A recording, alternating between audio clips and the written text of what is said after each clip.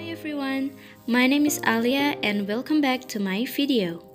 So in today's video, I'd like to show you my programming project on Scratch.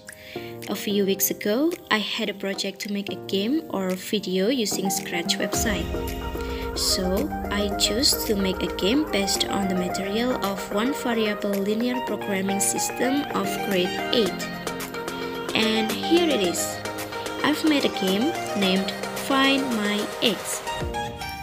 I'm going to demonstrate it in this video and if you guys want to play my game, you can simply click the link below on the description box. Okay, let's get started. So as you click the scratch link, you will see the game display like this.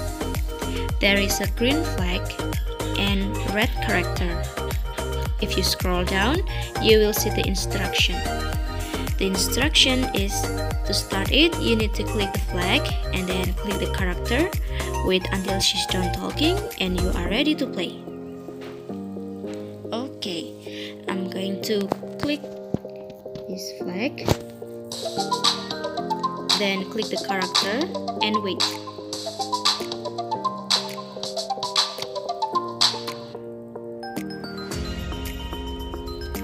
There are three levels here, easy, intermediate, and hard.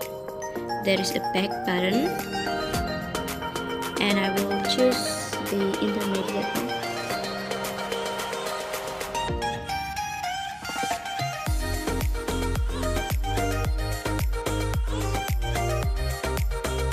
After that, you will see the question given.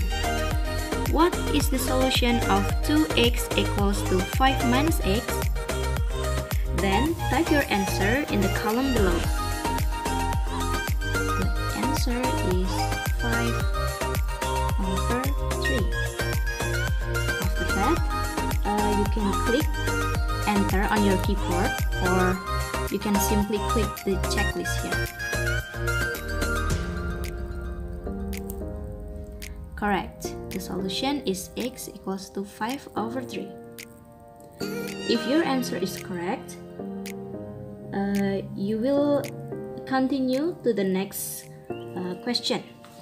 If your answer is false, suppose I answer it false,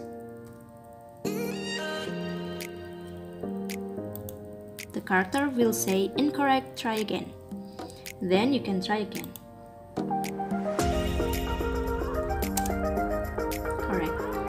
And you will be in the next questions. And so on.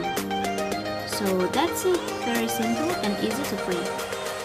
Thank you for watching this video. I hope you enjoy and try making on Scratch. And see you on my next video. Bye!